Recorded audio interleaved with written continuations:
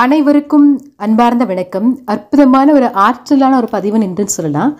அதாவது நாளை பார்த்தீங்கன்னா புதன்கிழமையோடு வரக்கூடிய தேய்பிறை பஞ்சமி. இந்த மகாலய பக்ஷம் நான் ஏற்கனவே சொல்லியிருக்கோம் ஒரு பதிவில். அதாவது இப்போ நம்ம ஒரு பதினைந்து நாட்கள் பார்த்தீங்கன்னா இந்த பௌர்ணமிலேருந்து ஆரம்பிச்சு நமக்கு வரக்கூடிய அமாவாசை இருக்கு இல்லையா? மகாலய அமாவாசை இருக்கியா? இதுக்கு இடைப்பட்ட நாட்கள் வந்து மகாலய பட்சம்னு சொல்லுவோம். இந்த மகாலய பட்சத்தில் பார்த்தீங்கன்னா நமக்கு அருளாசி அதிகமாக கிடைக்கக்கூடிய ஒரு நாட்கள்னு சொல்லக்கூடிய நாளை மகாபரணி ஏற்றக்கூடிய அந்த ஒரு வேலையில் அமையக்கூடியதான் இந்த தேய்பிரை பஞ்சமி. இந்த ஒரு அற்புதமான விசேஷமான நாளை யாரும் தவற விடக்கூடாது. ஏன்னா இன்னைக்கு எல்லாருமே பார்த்தீங்கன்னா ஏதாவது ஒரு சின்ன சின்ன இக்கட்டான சூழ்நிலையில் மாட்டிட்டு இருக்கோம் இல்லையா? இதிலிருந்து வெளியில வரணும். மனக்கவலைகள் தீரணும். உடல் ஆரோக்கியம் மேம்படணும். எதிரிகளுடைய தொல்லைகள்ல இருந்து கூட பார்த்தீங்கன்னா வெளியில வரணும்னு நினைச்சீங்கன்னா நீங்க நாளை வரக்கூடிய இந்த தேய்பிரை பஞ்சம் இல்லை. வராகிய மனதார வழிபாடு செஞ்சீங்க அப்படின்னா நிச்சயமாக நல்ல விஷயங்கள் உங்களை தேடி வரும் அப்படின்னே சொல்லலாம். நாளை வரக்கூடிய இந்த தேய்பிரை பஞ்சமேல இரவு சரியாக ஒரு எட்டு மணிலேருந்து ஒன்பது மணிக்குள்ள நீங்க ஏற்றக்கூடிய தீபம் வாழ்க்கையில மிகப்பெரிய வெளிச்சத்தை கொடுக்கும் அப்படின்னே சொல்லலாம். அது என்ன அப்படின்றத பார்ப்போம் இந்த பதிவில். நீங்க பார்த்துட்டு இருக்கீங்க இல்லையா? இந்த வராகியோட இந்த முகம் பார்த்தீங்களா? எவ்வளவு ஒரு அருமையா இருக்கு. வராகி நிறைய பேர் சொல்லியிருக்கீங்க வீட்டில் வச்சுக்கலாமா? இவங்களுடைய பஞ்சு முக அமைப்பு நமக்கு மனசு கொஞ்சம் ஒரு நெருடலாக இருக்கேன்னு சொல்லி அப்படிலாம் நினைக்கவே நினைக்காதீங்க. குழந்தை மனம் கொண்டவங்க தான் வராகி. அதனால வராகியோட படமா இருக்கட்டும் விக்கிரகமா இருக்கட்டும் உங்களுக்கு பிடிச்சிருந்ததுன்னா மனதார வந்து தைரியமா வாங்கி வச்சுக்கோங்க. சப்போஸ் விக்கிரகம் வாங்கி வைத்து வழிபாடு செய்ய மன நெருடலா இருக்கு அப்படின்னா பிடிச்சு வச்ச மஞ்சளை கூட நீங்க பார்த்தீங்கன்னா பிள்ளையாரா பாவிக்கிற மாதிரி நம்ம வந்து வராகியா பாவித்து அவங்களுக்கு பூஜை செய்யலாம். இப்படி பூஜை செய்யறது எப்படின்றத நான் நிறைய பதிவுகள் சொல்லியிருக்கேன் நான். நீங்க அதே முறையில் பூஜை செய்ய மறக்காதீங்க. இந்த வராகியை பார்த்தீங்கன்னா மாலையில் எட்டு மணிலேருந்து ஒன்பது மணிக்குள்ள நல்லெண்ணெய்யோ நெய்யோ கொண்டு தீபம் ஏற்றி வைத்து வீட்டில் பூஜை பண்ணிக்கோங்க. இன்னைக்கு நீங்கள் இந்த பதிவில் பார்த்துக்கிட்டு இருக்கீங்க இல்லையா? இந்த வராகி அம்பாவை பார்த்தீங்கன்னா நான் வந்து லக்கி பாட் அப்படின்னு சொல்லக்கூடிய அந்த வெப்சைட்ல இருந்து தான் வாங்கியிருந்தேன். நான் வாங்கியிருந்தேன் அப்படின்னு சொல்றதோட பார்த்தீங்கன்னா என்னை தேடி வந்திருக்காங்க வராகி அம்பாள்னே சொல்லலாம்.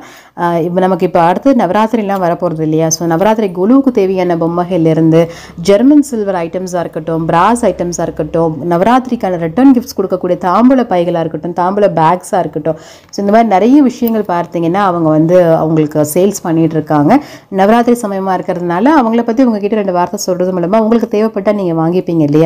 அவங்களுடைய நேம் அண்ட் காண்டாக்ட் நம்பர் நான் உங்களுக்கு ஸ்க்ரீனில் கொடுக்குறேன். செக் பண்ணி பார்த்துக்கோங்க. வெப்சைட் வந்து டிஸ்கிரிப்ஷன் பாக்ஸில் கிடைக்குது. நீங்கள் பார்த்துக்கோங்க. டிஸ்கிரிப்ஷன் பாக்ஸ்க்கு போனீங்கன்னா அவங்க வெப்சைட் இருக்கும். ஸோ அதை கிளிக் பண்ணி பார்த்து உங்களுக்கு தேவையான பொருள் என்னென்ன இருக்கோ வாங்கிக்கோங்க. நான் யாரையும் வாங்குங்கன்னு சொல்லி நான் எப்போவுமே ஃபோர்ஸ் பண்ணுறதே கிடையாது எப்போவுமே. தேவைப்படுறவங்க இவங்களையும் கொஞ்சம் கன்சிடர் பண்ணுங்க அப்படின்னு சொல்லி நான் ரெக்கமெண்ட் பண்ணுறது ஸோ கண்டிப்பாக நீங்கள் லக்கி பால் அப்படின்றவங்கள செக் பண்ணி பாருங்க. நான் அவங்க கிட்ட கொஞ்சம் ஜெர்மன் சில்வரும் பார்த்தீங்கன்னா எனக்கு அவங்க ப்ரமோஷனுக்கு அனுப்பியிருந்தாங்க. இது எனக்காக நான் வாங்கலை. எனக்கு அவங்களுக்கு கொடுக்கவும் கிடையாது. ப்ரமோஷனுக்காக அனுப்பியிருக்காங்க.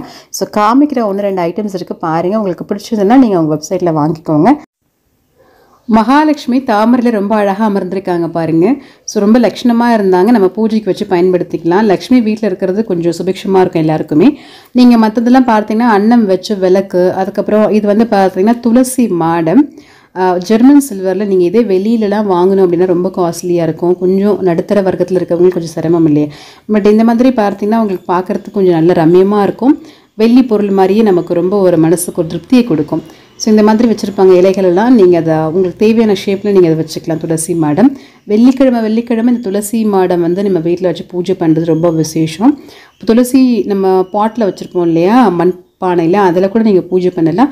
இந்த மாதிரி ஒன்று வீட்டில் வாங்கி வச்சுக்கிறது ரொம்ப நல்லது தான் அதுக்கப்புறம் அர்ச்சனை பூக்கள் உங்கள் எல்லாருக்குமே தெரியும் பித்தளை அதுக்கப்புறம் வெளியில் பார்த்தீங்கன்னா அர்ச்சனை பூக்கள்லாம் கிடைக்கும்.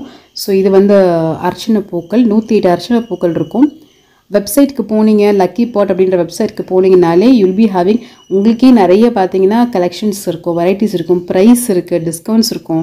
ஸோ நீங்கள் பார்த்து உங்களுக்கு தேவையானதை வாங்கிக்கலாம். ஏன்னா அது வந்து இது வந்து அர்ச்சனை பண்ணுறதுக்கு லக்ஷ்மி தாமரை இருக்கக்கூடிய காயின்ஸு இதுவும் வந்து ஜெர்மன் சில்வர் தான் உங்களுக்கு. ஸோ நல்லா கலகலகலன்னு சத்தம் வந்துச்சு. ஸோ லக்கி போட்டால் செக் பண்ணி பாருங்கள் அவங்களோட ப்ராடக்ட்ஸ் நான் காமிச்சிருக்கேன். தேவைப்படுறவங்க வாங்கிக்கோங்க. குவாலிட்டி வைஸ் நல்லாயிருக்கு இப்போ நாளைக்கு இரவு ஏற்றக்கூடிய அந்த ஒரு அற்புதமான தீபம் இருக்கு இல்லையா? அது வந்து வராகிக்கு நம்ம தேங்காய் தீபம்னு சொல்லுவாங்க. வாழை இலையை எடுத்து வச்சுட்டு பச்சரிசி நிரப்பிட்டு அதுக்கு மேலே ஒரு தேங்காய் உடைச்சி ரெண்டாக வந்து வச்சு அதில் வந்து மஞ்சள் குங்குமம் வச்சு அலங்காரம் பண்ணிவிட்டு நம்ம நல்லெண்ணெய் சேர்க்கறதுக்கு பதிலாக நம்ம தேங்காய் எண்ணெய் சேர்த்துட்டு இல்லை நெய் சேர்த்துட்டு திரி போட்டு தீபம் ஏற்றி வைத்து வராகைக்கு முன்னாடி வைத்து நம்ம வழிபாடு செய்யலாம். குறைகள் தீரணும் அப்படின்னு சொல்லி அர்ச்சனை பண்ணுறதா இருந்தால் அர்ச்சனை பண்ணிக்கோங்க. உங்கள் பெயர் சொல்லி கூட நம்ம வீட்டிலேயே கூட நீங்கள் வந்து அர்ச்சனை பண்ணிக்கலாம். அதுக்கப்புறம் பார்த்தீங்கன்னா அவங்களுக்கு நைவேத்தியமோ பானகமோ கிழங்கு வகைகளோ இல்லை கருப்பு சுண்டலோ எடுத்து வச்சு அம்பாளுக்கு வந்து நம்ம நல்லா பூ கொண்டு அலங்காரம் பண்ணி அவங்களுடைய மந்திரங்கள் ஸ்லோகங்கள் போற்றிகள்லாம் சொல்லி தீப தூப ஆரத்தி காமிஷி அம்பாளை வந்து மனசார வந்து நம்ம பிரார்த்தனை பண்ணிக்கலாம். அம்பாள் வந்து பார்த்தீங்கன்னா எதிரிகளுடைய தொல்லைகளிலிருந்து உங்களை காப்பாற்றக்கூடியவங்க அப்படின்றதுனால தேய்பிரை பஞ்சமியில் அவங்கள மனதார பிரார்த்தனை பண்ணிக்கோங்க. வருமான பற்றாக்குறை இருந்தால் கூட சரி அவங்கள்ட்ட சொல்லி பாருங்களேன். வேலை இல்லாமல் இருந்தால் கூட சரிங்க. வேலை வேணும் அப்படின்னு சொல்லி கேட்டு பாருங்கள் உங்களுக்கான சரியான நேரம் வழும்போது சரியான வேலையை வந்து கண்டிப்பாக அம்பாள் வந்து கொடுப்பாங்க அப்படின்ற ஒரு நம்பிக்கையோடு நீங்கள் மனக்குறைகளை அம்பாளுக்கு முன்னாடி நாளைக்கு சரியாக இரவு ஒரு எட்டு மணியிலேருந்து ஒன்பது மணிக்குள்ளே அம்பாள் அலங்காரம் பண்ணி பூஜை பண்ணிக்கோங்க. ஏன்னா வராகிக்கு பார்த்தீங்கன்னா அந்த நேரம் இரவு நேரம் தான் விசேஷமான நேரம் அப்படின்னு சொல்லுவாங்க. அதனால தான் இந்த பதிவு உங்களுக்கு கண்டிப்பாக கட்டாயமாக பிடிச்சிருக்கும் அப்படின்னு நான் நம்புகிறேன் பிடிச்சிருந்தா மறக்காமல் ஒரு லைக் கொடுங்க. உங்களை மீதான கருத்துக்களை கீழே கமெண்ட்ஸில் சொல்ல தவறாதீங்க. நன்றி. சந்திப்போம் மற்றும் ஒரு பதிவில் மிக விரைவில்.